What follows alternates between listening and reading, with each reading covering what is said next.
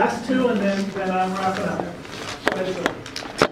A general comment about the lockers. Uh, To me, I I don't see other cities can have it both ways. They cannot have both a shortage of shelter beds.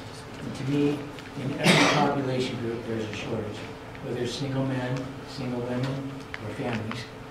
You know, You can't have it both ways, where you have a shortage of beds for homeless and.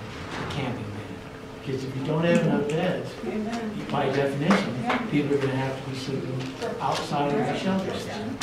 Yes. And that is camping. So you can't have it both ways, to me.